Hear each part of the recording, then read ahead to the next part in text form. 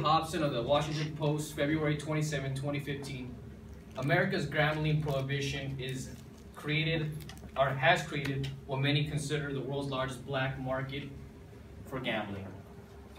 So today I'm gonna call I'm gonna talk about um, how gambling is illegal and why it shouldn't be illegal because it's gonna happen every day.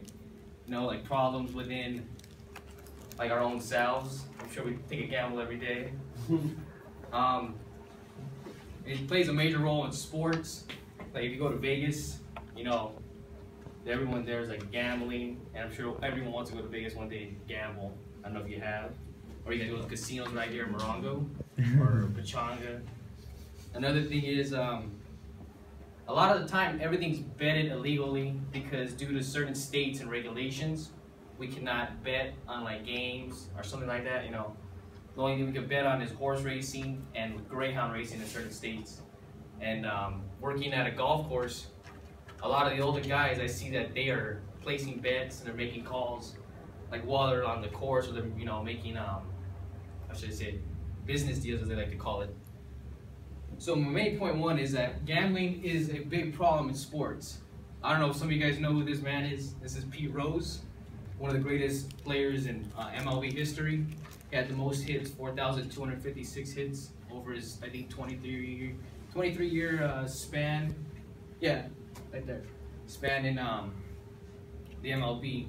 As a coach, he was illegally betting against his own team. right there. And I knew a lot about this guy because this is my dad's all-time favorite player. And to this day, he's still not allowed to be in the Hall of Fame because of what he did just because of that, but you have other like players using steroids and cheating, and this guy, you know, I don't think anyone's ever gonna beat his record. If you guys know. Now going back, you know, gambling in sports goes all the way back, you know, and right here in the 1919 World Series called the Chicago Black Sox, uh, White Sox. They later called them the Chicago Black Sox because of what they did. Eight White Sox players were taking bets from the mafia and one of the players was Joe Jackson, which is probably one of the best players as well in pitching. He used to be called Shoeless Joe Jackson because he was poor. He hmm. didn't have shoes, so when he would play sports, he was always like barefoot. But he was taking bets because he needed the money, and like any other player would. I mean, if you're coming from a poor background, you need the money, right?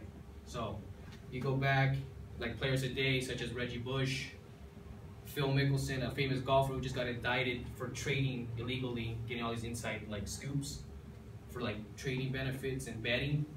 He got in trouble for that. Now I'm gonna tell you the cause.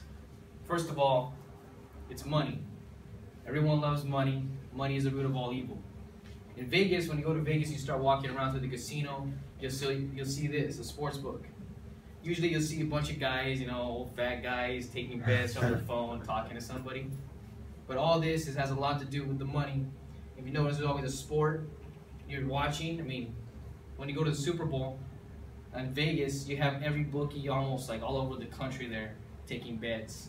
And before every like Super Bowl game, you'll notice that they'll say so and so has uh, four points, like the spread's 44, and you can take the under. Or even if you're on the under, let's say you get the spread is 44. So that means each team has to reach 44 or under. So you take either the, the what's it called, the over or under. You place your bet. And this horse racing, is totally different because you got like 17 to one odds and all this. And one of the or one of the people at the golf course, his name is Bob Baffert.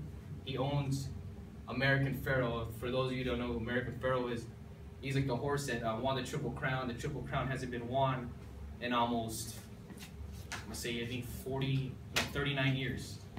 The horse is worth millions of dollars, and his odds on that were like two to one, so everyone knew he was gonna win. But over here, it was all like here, it was illegal, or it was not illegal to gamble on it because it was horse racing. But in other like sports, such as like baseball and stuff like that, you cannot really bet on that because you know they want like the government wants their share of money. I mean, who wouldn't want money, right? So every time you guys go to Vegas or something like that, and you see all these guys, don't oh they're just fellow guys. Some of these guys are millionaires. In order to be a bookie, you have to cover your own bet.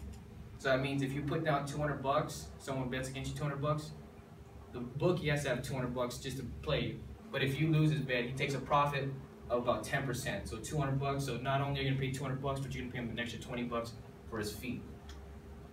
Next, I'm gonna talk about the solution.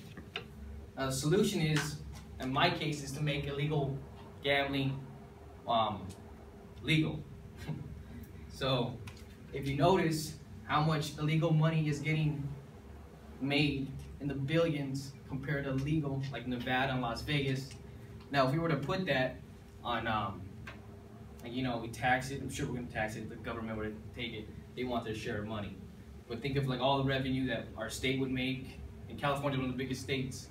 Like New York, they let FanDuel and DraftKings do it, but DraftKings got in trouble because I, like something happened between the the government and stuff. The government wanted a bigger cut, and they said like no, so they had to like end it. That's why you used to see all the FanDuel commercials, and the DraftKings. Now they're not like that big anymore.